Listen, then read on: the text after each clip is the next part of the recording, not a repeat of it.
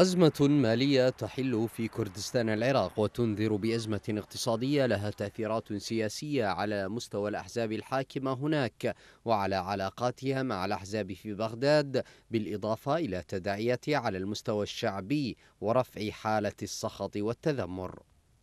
مصدر مسؤول في وزارة المالية في أربيل كشف عن تزايد الضغط الشعبي والتذمر في كردستان العراق نتيجة عدم توزيع رواتب شهر حزيران حتى الآن مؤكدا أن الحكومة لا تستطيع تأمين حتى ربع رواتب الموظفين بسبب عدم وجود السيولة المالية نتيجة لعدم استئناف تصدير النفط وعدم إرسال بغداد للتخصيصات المالية.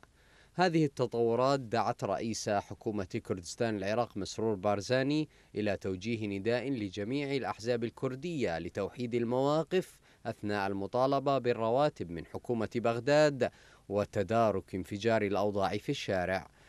دعوة تصطدم بتفكك الموقف الكردي والصراعات التي تفاقمت بين حزبي بارزاني وطالباني في الآونة الأخيرة وخروج اتهامات متبادلة من كلا الطرفين بالفساد وإفشال العمل الحكومي.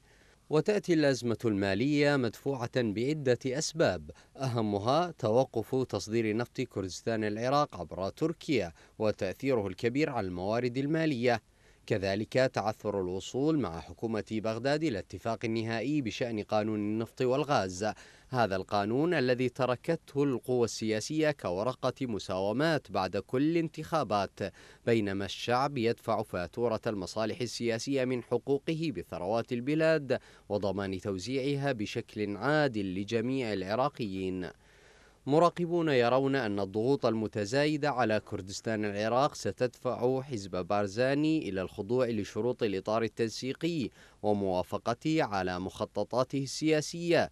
وإلا فإن هذه الأزمة المالية ستولد احتجاجات شعبية لا قبل لحزب بارزاني باحتوائها.